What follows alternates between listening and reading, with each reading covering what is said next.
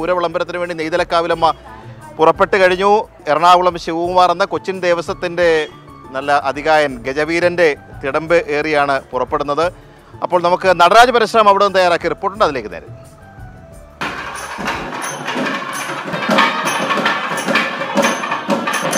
പൂരം വരവായി തെക്കേ ഗോപുര നട തുറക്കാനുള്ള പൂരം പുറപ്പാടിനായി നമുക്ക് പിന്നിൽ എറണാകുളം ശിവകുമാർ തയ്യാറാണ്. എറണാകുളം ശിവകുമാർ പൂരം നഗരിയിലേക്ക് തിരിക്കും. വടക്കുന്നാഥ ക്ഷേത്രത്തിലെത്തി.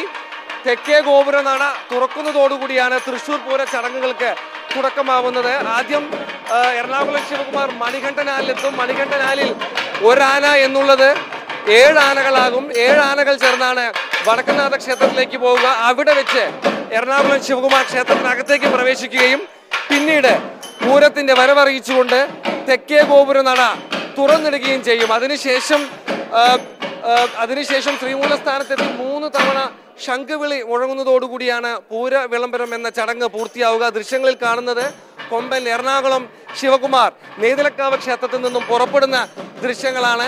ഏതാണ്ട് പതിനൊന്ന് മണിയോടുകൂടിയാണ് കൊമ്പൻ ആ, ക്ഷേത്രത്തിൽ ക്ഷേത്രത്തിലെത്തുക. അതോടുകൂടി ഏവരും കാത്തിരുന്ന പൂര വിളംബര ചടങ്ങ് നടക്കും. എല്ലാ കൊല്ലത്തേകളും നല്ല ആവേശമുണ്ട് ഈ കൊല്ലം. എറണാകുളം ശിവകുമാർ ആ, പൂര വിളംബരം നടത്തുന്നത് കാണാൻ ഒരു ചേലാണ് അല്ലെ? തീർച്ചയായിട്ടും. വലിയൊരു ആവേശം ഇവിടെ ഉണ്ട് പതിനൊന്ന് മണിയോടുകൂടി ക്ഷേത്രത്തിൽ ശിവകുമാരത്തും നേതിലക്കാവ് ഭഗവതിയുടെ തിടം വെച്ചുകൊണ്ടാണ് കൊമ്പനെത്തുക അതിനുശേഷമായിരിക്കും പൂര വിളംബര ചടങ്ങ്. നേതിലക്കാവ് ഭഗവതി ക്ഷേത്രത്തിൽ നിന്നും സോളമൻ റാഫേലിനൊപ്പം നടരാജ് പരശുറാം ഏഷ്യാനെറ്റ് ന്യൂസ്.